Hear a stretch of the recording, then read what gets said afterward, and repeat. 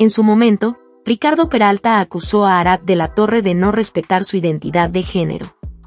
Uno de los momentos más controversiales en La Casa de los Famosos México fue el posicionamiento entre Arad de la Torre y Ricardo Peralta.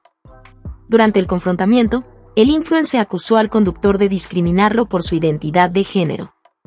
Según Ricardo, el también actor se burló de su vestimenta, algo que, para él, es un elemento que lo ayuda a expresarse como persona de género fluido.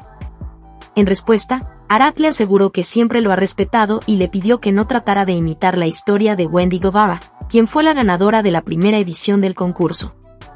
Durante su discurso, el presentador usó una frase que, para muchos, fue épica.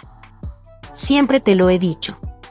En un mundo de nubes grises, tú eres el arco iris, por supuesto, este posicionamiento causó mucho revuelo en redes sociales.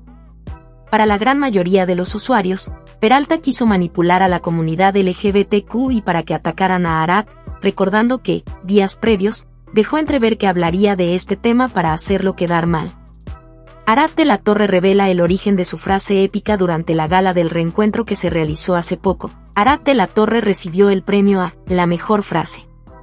Al momento de recibir su reconocimiento, mencionó que, en aquel momento, recordó las palabras que su personaje, Pancho López, le dijo a su hijo Temo, después de que éste se declarara parte de la comunidad LGBTQI.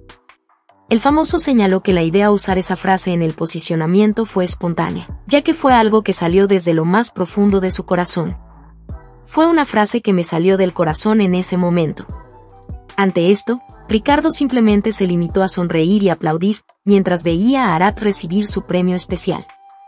Esta fue la novela en la que salió la frase, en un mundo de nubes grises, tú eres el arco iris. Hace algunos años, Arad de la Torre encarnó a Pancho López en cuatro melodramas, Una familia con suerte, porque el amor manda, Mi marido tiene más familia, y Aristemo, El corazón nunca se equivoca, las cuales están conectadas entre sí.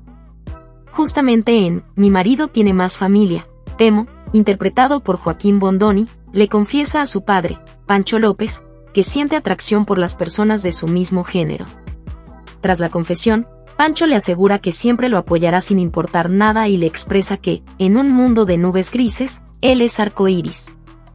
Si no te quieres perder nada, suscríbete gratis aquí al boletín de Bufeo TV para estar al día sobre todo lo que hacen tus celebridades favoritas, las noticias más impactantes y lo último en moda y belleza.